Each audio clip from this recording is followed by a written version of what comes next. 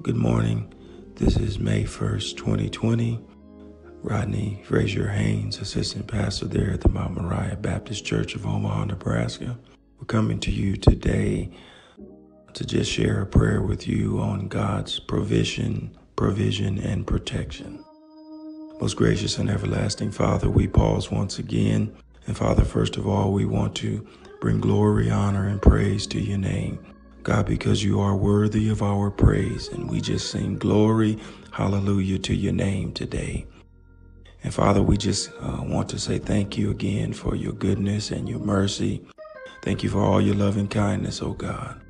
God, we thank you for watching out for us overnight, God, and allowing us yet another opportunity to see the dawning of a brand new day. And God, today we just come again overjoyed with thanksgiving that we can uh, just commune with you, God, that we can talk to you, God. We don't have any barriers that we have to go through to get to you. We simply need to just take the time and talk to you.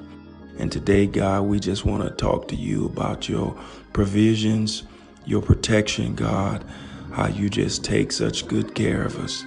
You said in your word that you would supply all of our needs according to your riches and glory. And God, you do it, and we appreciate you for that today. We sing glory to your name, God. Not only do you provide for us, God, but you protect us, God. You don't allow hurt, harm, or danger to come into our lives for the most part, God.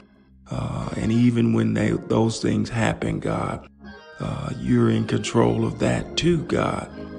Your grace and your mercy comes in, God, and takes such good care of us. You're such an awesome God, and we appreciate you for that today. Thank you for your provision. Thank you for your protection. No other God like you. And we just want you to know that we love you and we appreciate you. It's in Jesus' name that we pray and give thanks. Amen.